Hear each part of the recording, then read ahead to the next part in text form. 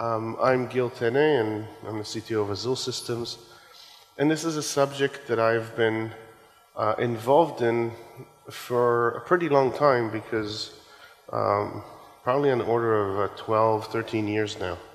Um, but it's become very relevant in the last year or so in, in a very important way. Um, many people aren't quite sure what hardware transactional mean, uh, transactional memory means or what transactional memory means.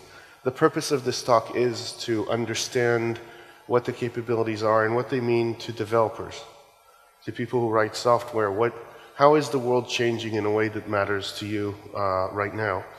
Um, so I'll start with a brief introduction. Um, I'll explain what hardware transactional memory is um, and the kind that I talk about and the kind that is now available in every Intel server that you might be buying from here on. Um, I'll tie the hardware transactional memory capability to how it works, to how cache coherence in CPUs makes it possible, to what the mechanisms that actually make it work do. But we'll do it um, in a way that is important for understanding how the machine roughly works, not so much for knowing how to build it, but for understanding a little bit of how to, how to use it. Um, we'll then look at what you can do with hardware transactional memory, for example, from a runtime like a Java virtual machine or a .NET CLR or any runtime that's out there, even um, synchronization libraries for C, C++. Uh, so I'll, I'll talk about the capabilities there. And towards the end, we'll talk about the meaning of this to how you code.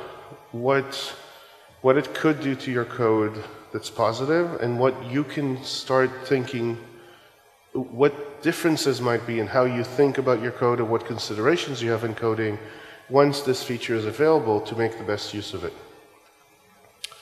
So I'll start with a small introduction about me. I'm the CTO of Azul Systems, as I said. Um, at Azul, we build Java virtual machines. That's all that we do. We make um, two different actual JDKs. One is a kind of a, our flagship product called Zing. It's, we think it's the best Java platform on earth, the best JVM. Um, and we also make uh, Zulu, which is basically a, an open source, OpenJDK distribution. We, we build a binary everybody could download, use for free, um, without having to build it themselves, and obviously offer support and such. Um, one of the areas that I've worked a lot on in the last decade and plus is garbage collection because one of the things we're probably the best known for is garbage collection is no longer a problem when you run on Azul JVM. Um, and, and, some evidence of me working on the subject of garbage collection could be seen here. This is me working on garbage collection in my kitchen. Uh, the machine that I'm sitting next to is called a trash compactor. This is a real thing, at least in California. Uh, the job of a trash compactor, it sits where the normal garbage can is, but it's a form of generational garbage collection for your kitchen. You perform minor garbage collection compactions during the week so that the full GC only happens once a week when you need to take the bag out and, and go to the stinky outside garbage can. But unfortunately, this wasn't working right. It had a bug in it. The compaction wasn't working. Fragments were being accumulated. We weren't compacting the heap right. And, and I had to open it and debug it. This actually happened. Um, and I thought it would be funny to take a picture with the garbage collection theory book next to me when I did that. And that's what you see here. That was 12 years ago. So I, have been thinking this is funny that long. Um, but, but, you know, garbage collection is not the subject for today, more of an introduction to some of the things I play with. Um, here's some evidence of what happens when you solve garbage collection. Uh, we like seeing this kind of effect because you know you no longer tune you just if the problem is gone you could do other things like write better software solve interesting problem or just drink beer um, but I've worked on a lot of other things um, I've worked on all kinds of physical and virtual machines and, and operating systems one of the things that I worked on is the first commercially shipping hardware transactional memory platform Earlier in the history of Azul, we actually used to design chips and instruction sets and interesting monster hardware before Intel hardware became good enough to just make everything software for us. and we shipped the first hardware transactional memory capable piece of hardware anywhere. So in doing that, back in 2005, so 11 years ago, we learned a lot about the subject, which at the time was a kind of a niche subject, which now seems applicable across everything. Um, so as I said, I've built a lot of things, and I also like to talk to people about all kinds of things that I think are important. This is an example. One of the subjects I talk a lot about is response time and latency and how we think about it and how we measure it and all the mistakes we all make. And that's a very depressing talk, but a useful one. Um, so that's enough about me. Let's look at the subject at hand. Hardware transactional memory. Why are we here even talking about it? Why does it matter now? It's been an academic subject for about 20 years. Um, and the reason it matters is because it is now finally here. The world changed earlier this year in a very dramatic way when it comes to this capability. Hardware transactional memory has been around in various forms. As I said, we shipped our first systems at the end of 2004, early 2005, and that was the first hardware transactional memory hardware available and variations of some PowerPC architecture for certain platforms had it, and some designs of SPARC that never shipped had it. Um, but these are all uh, exotic, uh, corner, niche, small part of the worlds that had this. What's changed is that every commodity Intel server that you can get your hands on that was made after March of this year has this feature in it which means that as of now, you will see it in the hardware you run on without having to choose it, without having to select it. It's not an extra feature. It's just part of what Intel server chips do, period. Yep. Skylake has it, Broadwell has it, and even Haswell E7s have it. That sounds like a song. Birds do it, yeah. Um, so I actually listed the models of Intel chips that have this, but think of it this way. There are no new or current Intel server chips, not old ones, but new ones, that do not have this feature. It is everywhere. It is a commodity feature. It's there for free. Um, some of, even on Amazon, the X1 instances already have it. And over time, we'll see more and more just hardware just magically have it, and that's it. So this matters because it's here, it's a new hardware feature, it is everywhere. So what does it do or what does it mean? That's what the talk is about. So what is hardware transactional memory? And I'm talking about a specific kind of hardware transactional memory, but it is the kind that's in the Intel chips. Um, so you can think of the main feature of hardware transactional memory as speculative multi-address atomicity an atomic operation across multiple addresses of memory that is done without being sure it can actually be done, so speculatively. Um, you're probably very used to speculative single address atomicity, compare and swap, um, things like that. That's, I think I can do this in one shot, but maybe it's wrong, so might fail, might not. But this is across many addresses and for a lot of operations. A transaction this thing that can either happen or not, starts and ends with explicit instructions that say start the transaction, do stuff, and end the transaction in this form of hardware transactional memory. So there's a begin and an end instruction.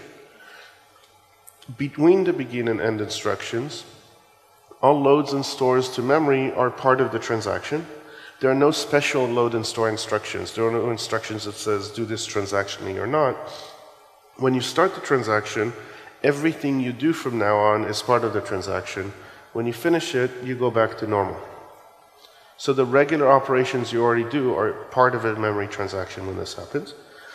And every memory operation that you have done in a transaction that was successfully completed, meaning you got to the last instruction, you committed it, and it finished, all of this together appears to happen atomically to everything else in the world, to any other thread, to any other CPU.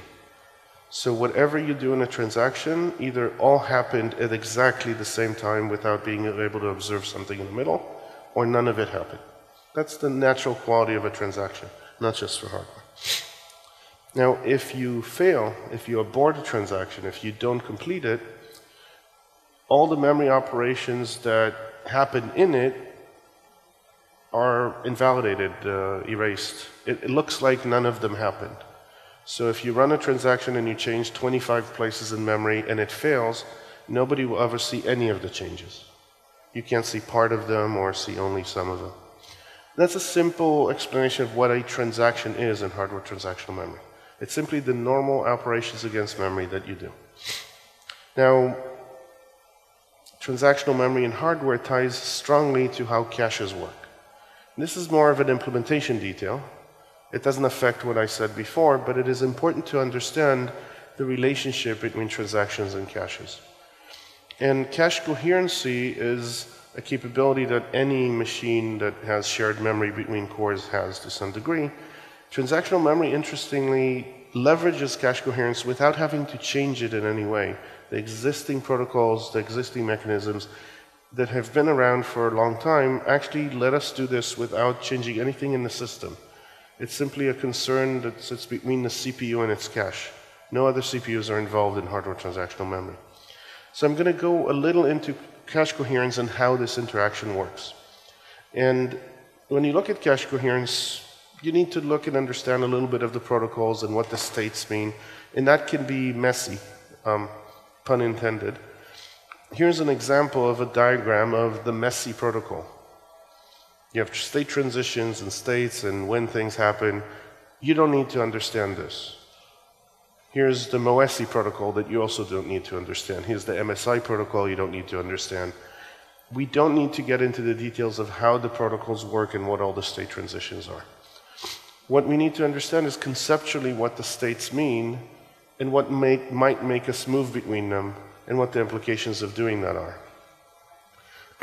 so, to understand a little bit about caches in this context, let's look at what a cache line in a CPU um, looks like from an individual CPU point of view. There are multiple states, I'll name four of them. The simplest one is I don't have a copy of this data. It's not here. The next one is I have a copy of, of this data in my cache, but I don't know if it's the only one. Somebody else might also have a copy of this data. There's a state where I know I have the only copy of this data. Nobody else has a copy of it. It's here.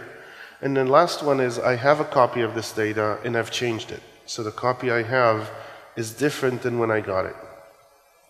These are the four basic states that are needed to, that you need to, to think about when you think of a cache. And if we name the states, this is technically called invalid. Now, I don't have a copy. If I have a copy, but it may be somewhere else, this is the shared state in a cache. If nobody else has the copy, I have the only one, that's exclusive. And if I have it and I've changed it, it is modified.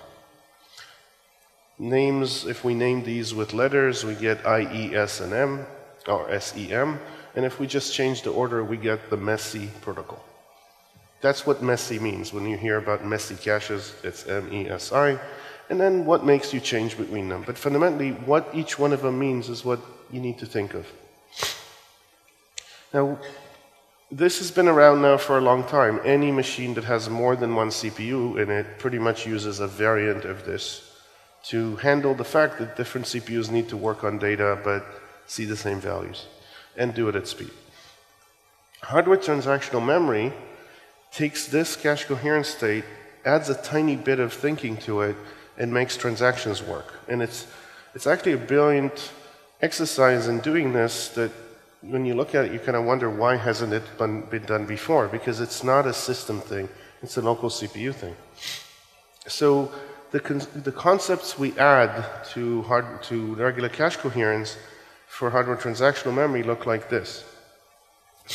If a cache line was accessed while I was speculating in the middle of a transaction, after the start but before the commit, then I track the fact, the CPU will track the fact on the cache line that it was speculatively accessed. So if we read it, during the speculation or we changed it, wrote to it during the speculation, we track the fact that this is a, a cache line that was part of the transaction.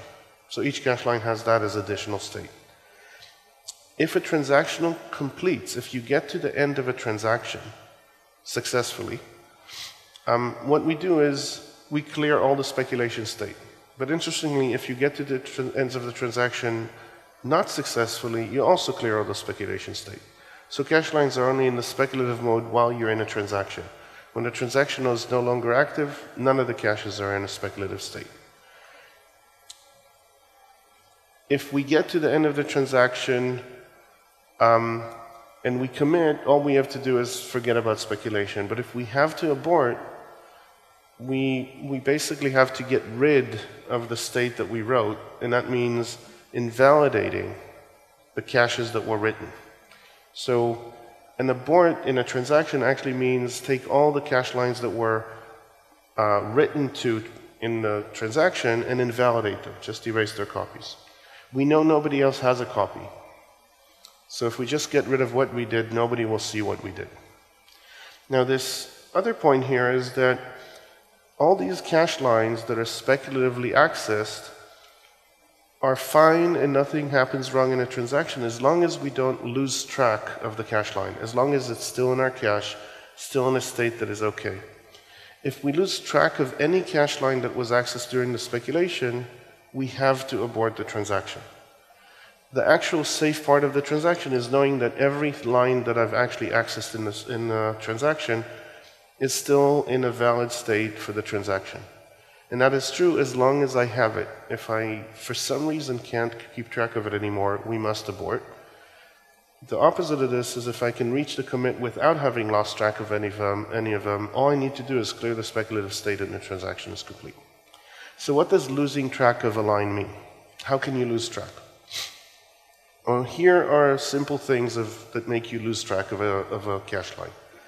The first one is some other CPU is trying to write to a cache line that you used in a transaction. So you have it here in your cache line, in, in your cache. You might have read it, maybe you wrote to it, and some other CPU wants to modify it. That would be a problem for the transaction. It won't be atomic. But to do this, the other CPU would first need to make it exclusive in its cache to be able to write to it. And to make it exclusive in its cache, it would somehow have to make it leave your cache. Before anybody can write to a cache line, it has to be exclusive to them, which means it cannot be in yours. That's a simple quality of all uh, shared caches with messy-like protocols. So it doesn't matter how they did it, before they can write, I will no longer have a copy. So that's that would make me lose track of the line. I have to get rid of it, invalidate it, forget it, change its state somehow. And that means I can detect that I need to abort the transaction before somebody else writes. The other case is that some other CPU wants to read from a cache line that we have already modified in the transaction. Now, note that this is only something that conflicts with modifications. If I've read a cache line and it is sitting in my cache in a shared state, and I access this speculatively, as long as it's still in my cache, everything's okay. Somebody else could also get a copy and read it, transactionally or not. It doesn't conflict with my transaction. As long as they don't need to modify it, we can all have copies. But if I did modify this cache and somebody else wants to read it and I haven't yet finished the transaction, that means I have to move from an exclusive mode to a shared mode and lose track of the line that was speculatively accessed. That would force an abort. So those are the two simple cases to think of of how other people reading and writing data can make our transactions fail. The last and most common case of why you might lose track of a cache line is simple, it's capacity. The cache has a limited size, and if we tried to in one transaction modify a terabyte of memory, we will probably not be able to fit it in the cache. Something would have to be evicted. I will lose track of some data and it will fail. So transactions are limited, inherently limited to the capacity of the caches that hold the state, whatever the, those caches are in the CPU. Now that's it for the memory part. It is very simple. Because the messy protocol is there, because the states are there, we can simply define these behaviors and do transactions with the memory. We've done it 12 years ago. Intel's done it, well, they've worked on it for longer than 12 years, but it's now shipping. Um, so that's it from a memory perspective. Now, there's another detail. For example, in Intel, the transactions also include the CPU state, which is a very convenient feature. When you start the transaction, the CPU architectural state, everything about it, the registers, the addresses, whatever, the flags, they're all kind of checkpointed. And when you abort the transaction, you jump to a place that handles the abort, and that place is actually the parameter to the beginning. So you actually say, start a transaction, if you fail, go there. It's, that's what a begin is. When you abort, if you abort, one register is modified to indicate something about the abort. Some conditions about the abort, some bits, and maybe a parameter if you explicitly abort.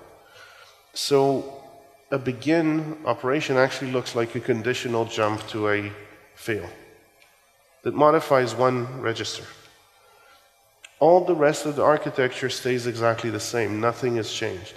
So if a transaction fails, the only thing that was modified was the EAX register. So a transaction is an instruction that affects one register. Lots of instructions affect one register. It's a simple operation to think of that way.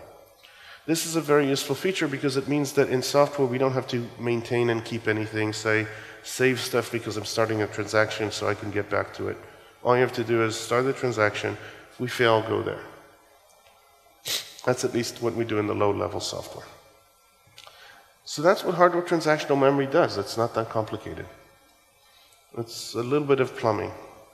But the obvious question is what is it good for? What can you do with this? So, what can you do with hardware transaction memory? Well, obviously, it's to transact on memory. And one of the brilliant inventions, I think, in the last 20 years on this space is called speculative lock elision. Um, the notion of hardware transactional memory, in one way or another, has been around since about 1993 at least in academic documents. Uh, but this discovery, I would say, happened a few years later, and it's basically the realization that we can use hardware transactional memory to avoid locking locks, but look like we did. Uh, the name that was given to it is speculative lock elision. Elision means avoiding or, or not doing. And there's a PhD thesis by a guy named Ravi Rajwar that basically coined this term, talked about it pretty much for the first time. Um, I made a little note here. There was actually a set of independent work that happened at the same time, published only months apart at a different university, that has similar things, but this is the one that probably more closely resembles the terminology we use. Ravi went on to work at Intel, and this is what we got. Okay. Now, I first noticed this thing. Uh, this is an email that I dug out of my email archive from 2002. So I first noticed this in March of 2002 when at Azul we were looking at cool things we could do in hardware design. And I saved this email, and I'm very happy I did, because this is exactly the email not edited. You see, it says speculative lock elision. Wow, this can change the world, right? Now, down here, what I'm saying is this sort of speculation can facilitate an amazing improvement in the thread concurrency that code uses that code that uses conservative non-performance optimized synchronization can have. Meaning existing code with existing locks can get much higher concurrency on new CPUs if this actually works. It is a pretty amazing thing. Now how does this work or what can we do with it? To, to understand that, we need to think of what we have in locks and what bothers us in lock. What, what is the purpose of a lock and what's in our way? A lock is pretty much a traffic cop or a traffic uh, synchronization mechanism that prevents collisions on data, prevents bad things from happening. You can think of it as a traffic light where when I have the lock, I have the green light, and everybody else has a red light. And later I let go of the lock and the light switches, and somebody else has the green light, and I have to wait. And we switch back and forth and back and forth, right? But what we actually want to do when we have a lot of CPUs is for everybody able to work at the same time. We want green everywhere. There's a problem with giving everybody the green light. This sometimes happens, right? Now, when that happens with our state, we corrupt the memory, data gets all bad, math doesn't work, so that's a problem. So we need some way to prevent that, and a lock is a simple conservative way of saying, make sure this doesn't happen by doing only one thing at a time in a critical section. What we want is to be able to do the green-green light without that collision ever happening. What we actually want is a time machine. We want the ability to say, if a collision happens, roll the clock back, make it so none of what we did happens, then do the slow synchronized thing. But if no collisions happen, we could just keep going. And hardware transactional memory with speculative lock elision basically is the, is the operation of doing that. Now, I'm going to switch the slide background here intentionally to a different color. And the reason for this is the set of slides that I'll have, about 10 slides after this, were originally written uh, for a presentation I gave in 2005. And the funny thing is, when I prepared this presentation, I was looking for, I've worked on this before, let's look at my old material. And I said, wow, it's, it's 11 years old, and I can use the slides exactly the way they are, because finally they're actually relevant, right? Um, I gave this presentation at JAOO uh, in, in Denmark along with Ivan Posva, at the time worked at Azul. He went on to Google and built stuff like the V8 virtual machine. Um, but here's what we said then, and exactly that, verbatim word by word, applies now to current hardware and current JVMs, not just ours. So there, there's a new JVM capability that improves multi-threaded application scalability, and it can affect the way you code, and you need to know about it, right? Um, why do we care about it? And we're going to go through these subjects. Why do we care about it? The simple reason is um, Amdahl's law is one of the simple ways to think of how scalability is affected by synchronization or serialization of code when you have more than one CPU, more than one thing that could do work. The, the, the equation for, their, for it is there, for efficiency, but visualization usually helps. These are these are lines of efficiency behavior as you grow processors, depending on the percent of code that must be run serialized. Think of it as the percent of the time you spend in a lock out of overall time. So obviously, if you don't spend any time in any synchronized code, you'll have perfect efficiency. If you spend only a little time, it'll be still pretty, pretty good. But as you grow the percentage of time you spend in efficiency, in, in synchronization, the efficiency drops dramatically as you grow the number of CPUs. A different way to look at it is from a point of view of it's the same data, but how much more work do you get to do as you grow a number of CPUs? The perfect scaling line would grow linearly. Uh, but as you have even 5 or 10% of, of serialization, you get this flattening out and a complete inability to use CPUs above a few, right? It, they don't contribute to the work because they all wait in line. Now, this is somewhat intuitive, but some of that intuition often misleads us as to how bad it is. It's worse than you intuitively think. Because, you know, obviously, if I said I have 10% of the code that is serial, I have to do just 10% of the code one at a time, you know that you can you can't do more than 10 times the work of one CPU because 10% has to be done one at a time. That's intuitive. But what's not necessarily intuitive is that with 10 CPUs, we don't get to do the whole 10x work. We only get to do 5.3x. And you have numbers like 16 and the rest there. And the more CPUs you have, the more you, the, the, the closer you approach to the theoretical 10x speed. It will take an infinite number of CPUs to do 10 times the work. Okay? So the impact, like when you think 10% serialization, 10x is the best I could do, well, know, with 10 CPUs, you only get 5x. So this is a big impact. And when we started looking at this, normal machines had two and four, maybe eight cores in them, and this wasn't a big deal. We were building machines with hundreds of cores. We really cared. Now my laptop has eight cores in it. And I can rent a machine on Amazon for $10 an hour, and it has 128 cores in it. This is commodity, right? Tens of cores are in any, every server, so all these numbers are very relevant. So why do we care about synchronization and what can we do about it? Um, we see that synchronization has a bad effect on scaling, on the ability to use multi-core machines, which are all machines now. Even my phone has four cores. Um, but when we look at why we synchronize, it's important to distinguish between lock contention, synchronization in a lock, and contending on actual data. The reason the, the contention on a lock is the situation where two threads are trying to grab the same lock, um, so one of them has to wait for the other, right? That's what lock contention means. If I grab the lock and let it go and somebody else grabs the lock and lets it go, that's not contention. It's when we collide in time.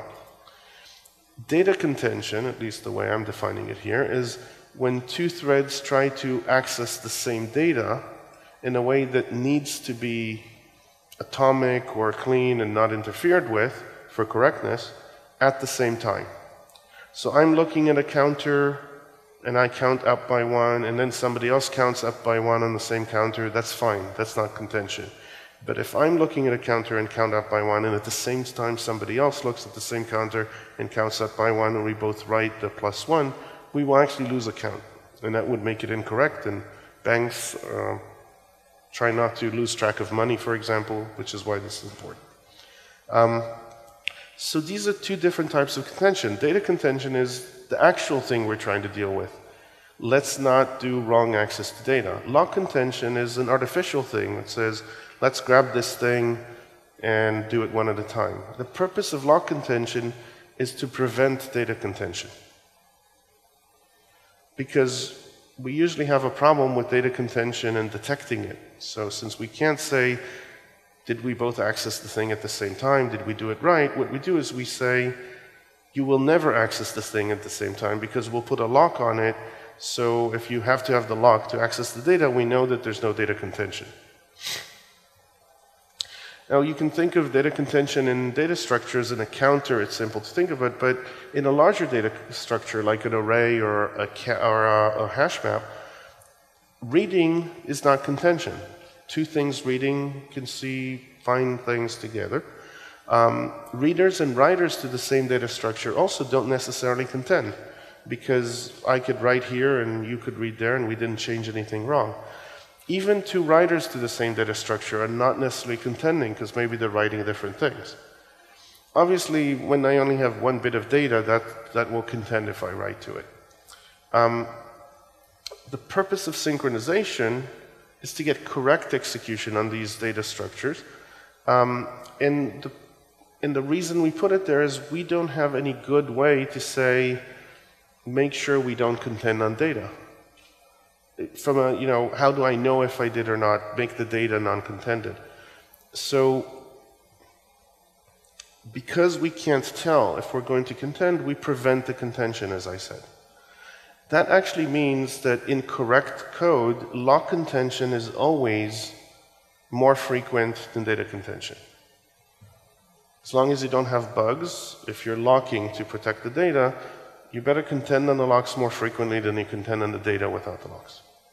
In practice, lock contention is a lot more frequent, as in 10, 100, 1,000 times more frequent than actual contention. Imagine that I have a, a dictionary with a million entries in it, and I synchronize it just in case two things access the same entry. The chances that they'll access the same entry is very low, but I will contend on the lock every time. And it's exactly this relationship that we're trying to leverage here for synchronization with uh, transactional memory. It's the fact that when we play this green and red light thing, if we let the two green lights happen, most of the time collisions won't happen. But unfortunately, we can't roll the clock back, so we have to do them one at a time. Now, when we look at transactions, this is not something new. It's, it's been around forever. Um, databases and other things have also done transactions, looked at the scaling problems around them, and have also dealt with speculative transactions. Start a transaction, try to complete it at the same time in different places, and be able to roll back if you fail because of concurrency. Optimistic concurrency works most of the time or some of the time in the right places, right? So we can re-execute things, and this actually works.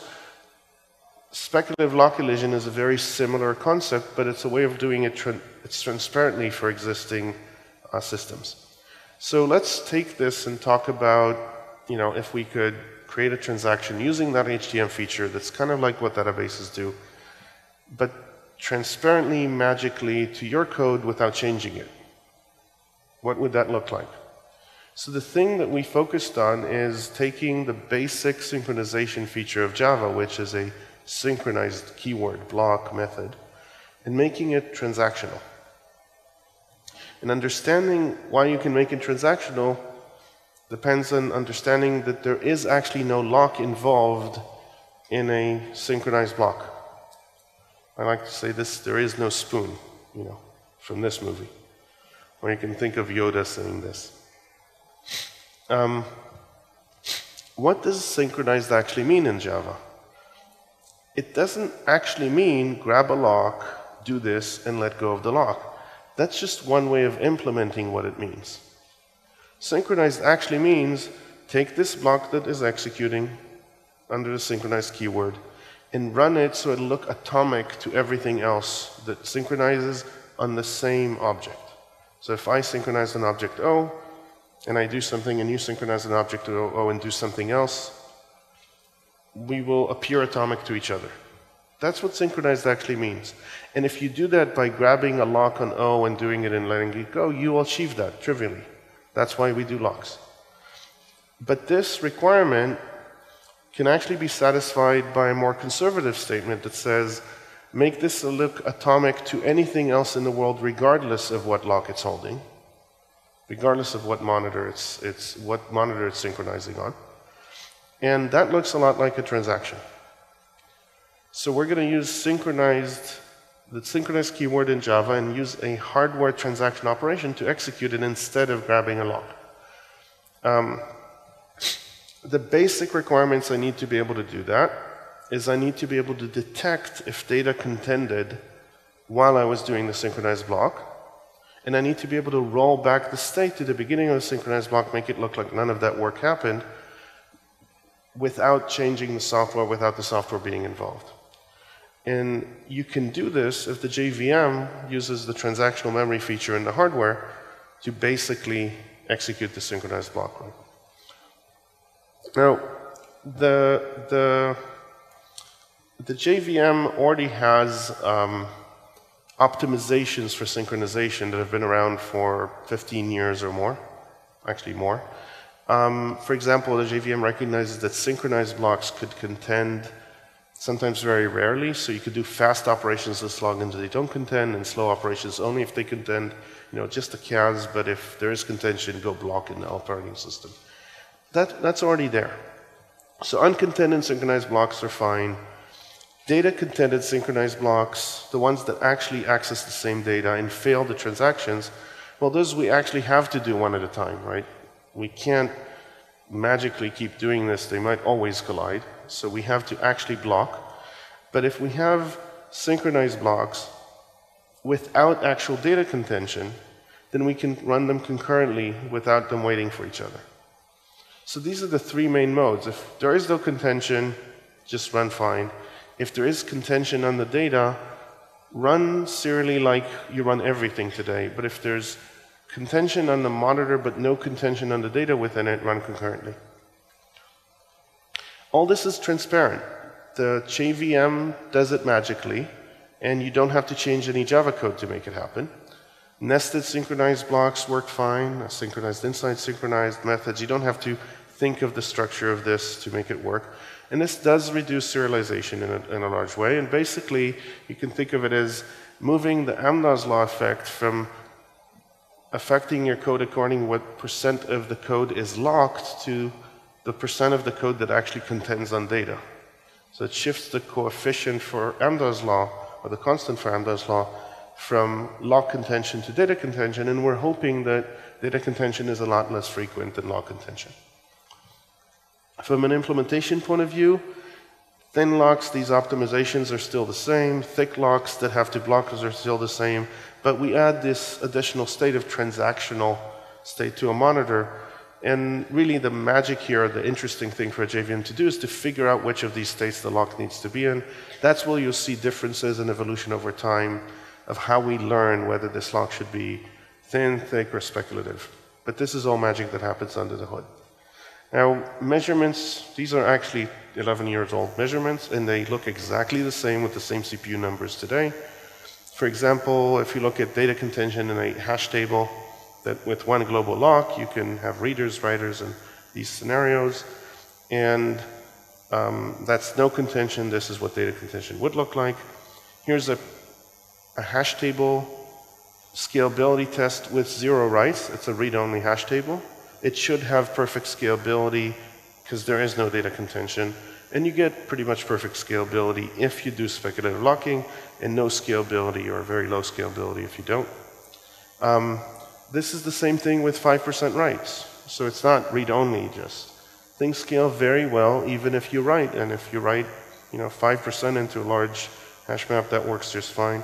See, that works up to tens and higher threads. The numbers here are micro benchmarks. They just show you mechanism actually works. Um, what happens in actual transactions becomes much more complicated, in actual applications becomes complicated. But with the time um, we have left here, what I want to do is cover the next thing, which is given that this is going to magically appear in the things that write, run your code. And by the way, today, our JVM Zing uses this feature on hardware that has it, and also Hotspot uses this feature on hardware that has it. It's had the capability to do this since 8U40, I believe. Um, I think you have to turn on a flag to use it there. But it uses this feature to do a transparent synchronized block without you having to do anything. The differences between us are more about the heuristics used to figure out how to stabilize the monitor and the lock and, and get it right so it only benefits and doesn't hurt. And, and I do like to kind of give people the right expectation. Since it's a new feature, those heuristics are still being learned for what it really means for real applications and real hardware in a mass market. Uh, so they will evolve. Um, we think that our experience from 10, 11 years ago is very applicable here. It took us a couple years of getting it right 10 years ago. We just took the same algorithms and used them now. They seem to work well. But it's mostly about being able to learn for each lock what the right thing is to do. Much like for each lock you have to decide whether it should be thin or thick, we also learn whether it should be speculative. But what does this mean to your code? What do you need to do? Do you need to change anything? Well, you don't have to change anything. Your code will work the same way. It's not going to get any worse if the JVM does its job right. However, for your code to benefit from this, because this is a new capability that might make you go faster, there are some interesting things to consider. And that's, I'll, I'll give, give you some thought exercise here with code. Let's look at a simple hash table implementation. This is a very simplistic one. It's one hash table synchronized globally, not a lock per bucket or anything. You know, think of hash map with one synchronized block And the hash table works fine with buckets and non-contention on readers and writes in a bucket, but unfortunately most hash tables will track the size of the data in them. So every time I write to it anywhere, I could have a million buckets, but I have this size that says how many total objects I have. And that thing right there is data contention on one variable every time I grab the lock. Because of this, all writers to this hash table will contend. Because there's one piece of data at least that they all modify, so they can't do it concurrently. Okay? That one line prevents us from scaling with transactional memory on a simple hash table implementation. So you, if this is your current code, the readers will scale, but the, and the readers versus writers might scale, but two writers cannot run at the same time.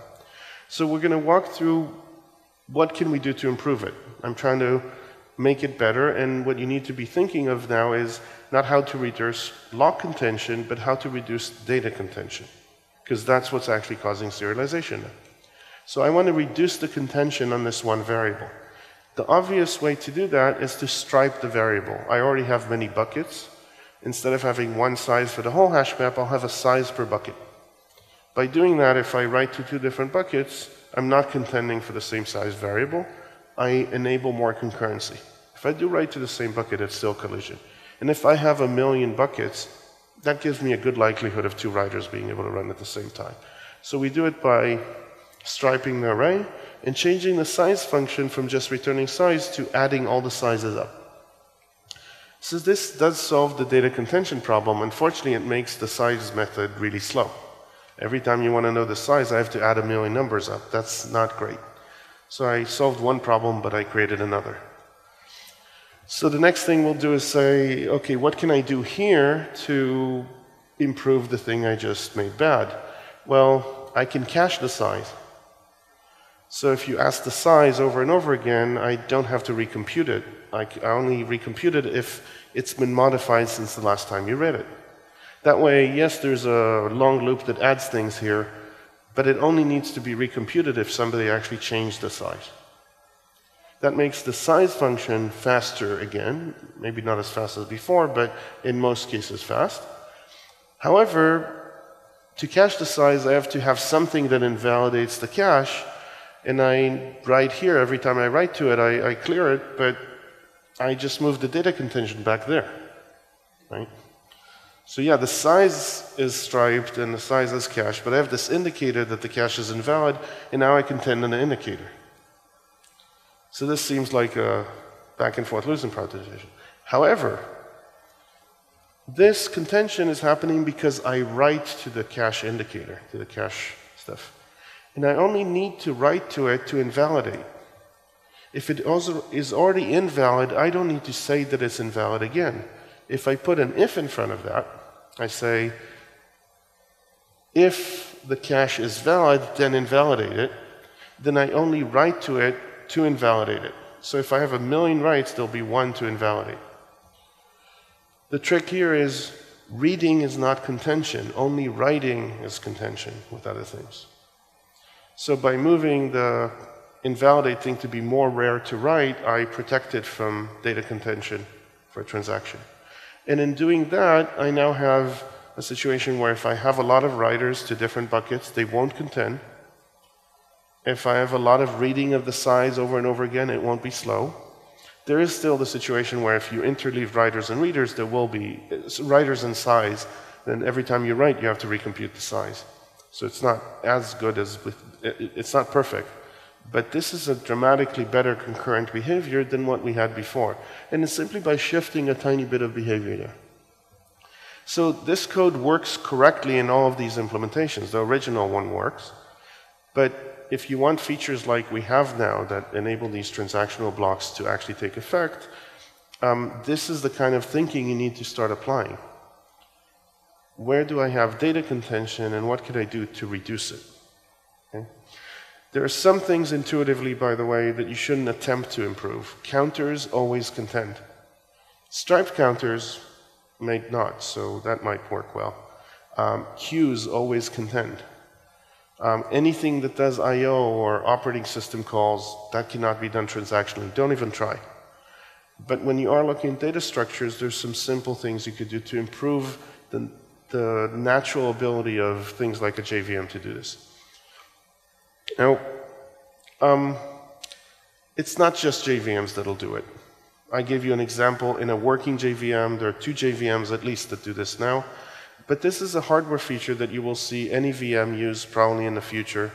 And probably, uh, not just probably, the POSIX locking libraries are actually going to use it too. So there's going to be a lot of attempt to transactionally uh, address locks for concurrency without changing the software. There are probably going to be attempts to expose APIs to using the transactions directly as well.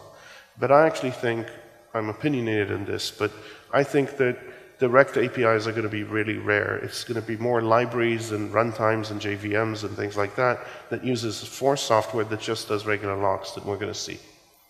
So We're good on time, good. Yeah. To summarize, hardware transactional memory is here. This is news. It was not here a year ago, and now it is. This is changing the world quietly but importantly. Um, you should expect the use of speculative locking in multiple different parts of software transparently on your behalf. So JVMs, all runtimes are probably going to evolve to do this, and libraries as well. Um, hardware transactional memory has other uses. I mostly focused on speculative lock elision, which is a very cool use of it, but it might be useful for other things. We're working on some really cool other things that might be able to use the same feature.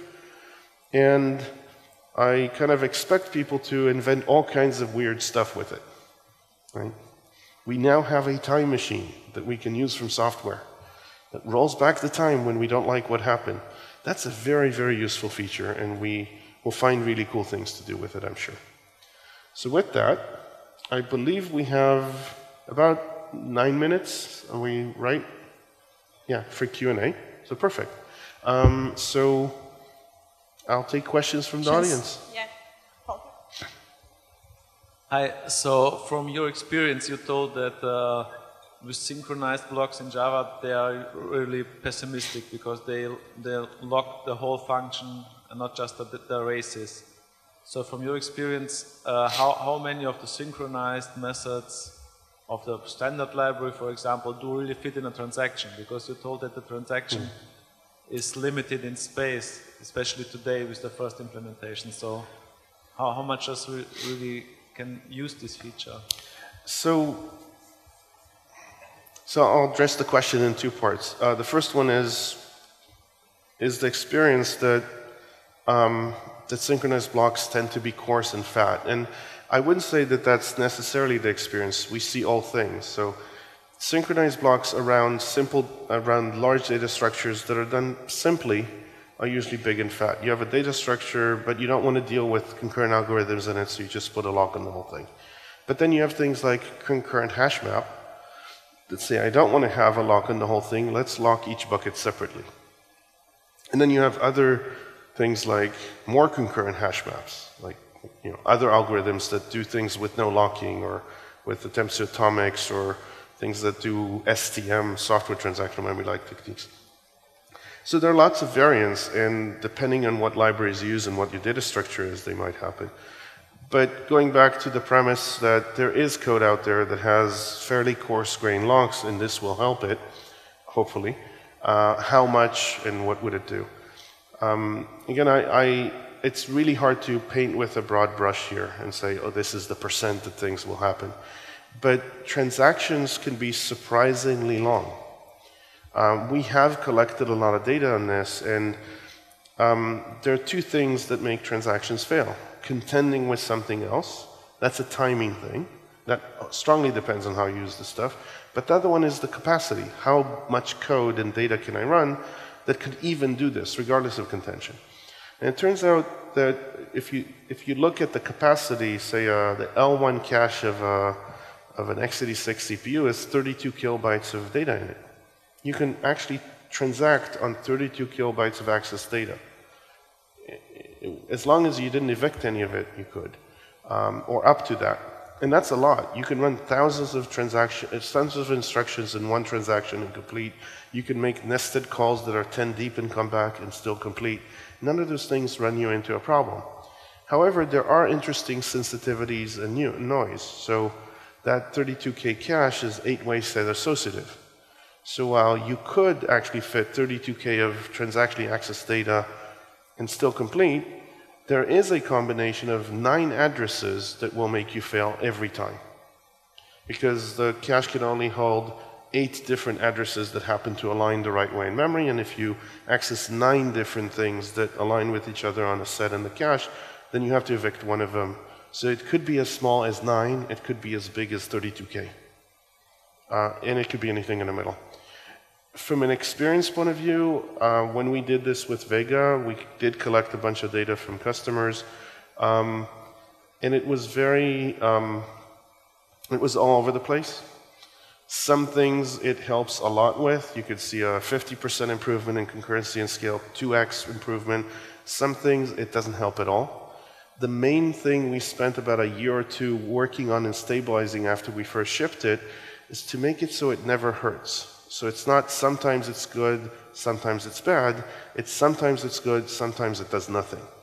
Because if you get to that point, you can turn it on by default. It can only do good things. It cannot slow you down. And the art to doing that was making the actual monitors learn individually whether or not that monitor should even try to speculate. If you put a monitor around a log file, it will always fail. There's an I.O. down there, or there's a serialization of access to it. If you are contending, there is no point in speculating. You're just wasting your time. But if you learn that pretty quickly after you try three or four times for that log file and you never do it again, then it doesn't hurt. Failing is pretty quick.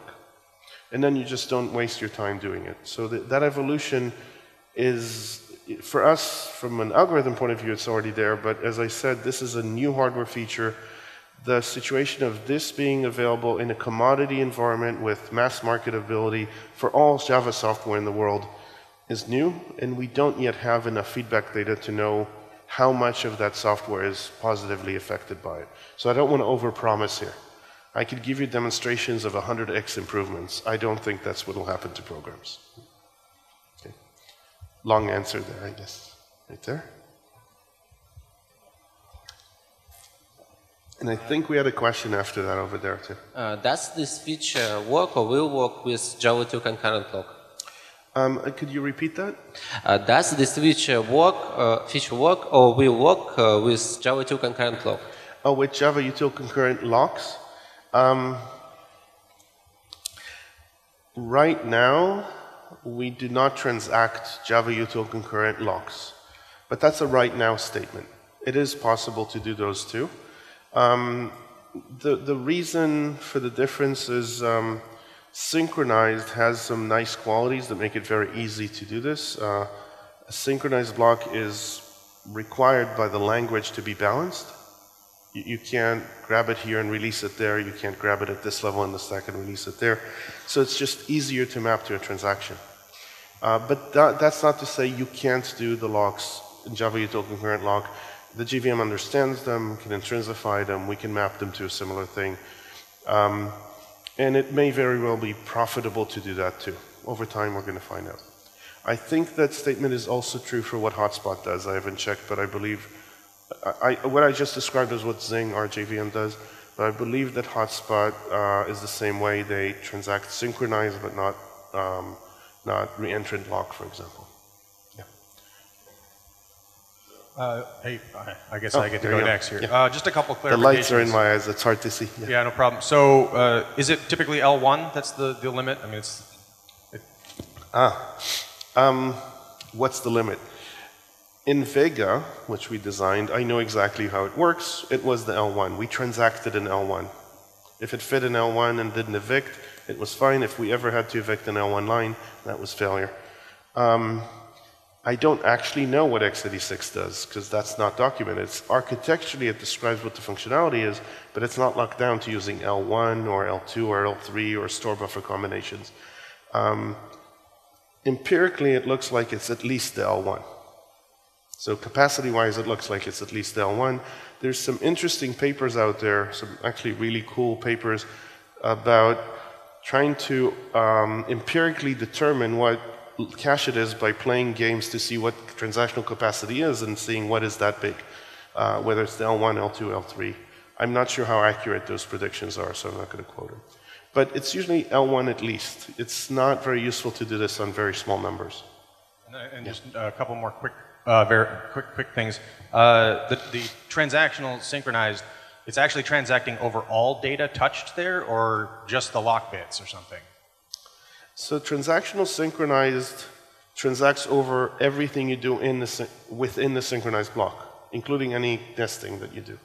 Um, the trick to speculative lock elision is not modifying the lock, which is, that's a really brilliant observation that Ravi had. It's normally when you grab a lock, you modify the lock, then you modify again to let it go. If you do that, you will fail the transaction. The cool thing in a transactional lock is you don't modify the lock, you just read the lock, verify it's not locked. And by doing that, you've made sure that anybody that tries to grab the lock, that actually modifies it, will make you fail. So by not actually changing the lock, you're able to do the lock concurrently. If you ever try to change it, you're going to fail. Anybody that fails the transaction and decides to say, I'm not, this, this speculation doesn't work, let's grab it to go serially, will make all the speculators fail to make room for him. And that works perfectly as well. Um, I think we had one Uh, question over there. How are we have more doing on time. time? Uh, we're out of time, unfortunately, but uh, we'll move you to the discussion zone, Okay. and uh, all the questions can be asked there. So thanks. Thank you very much.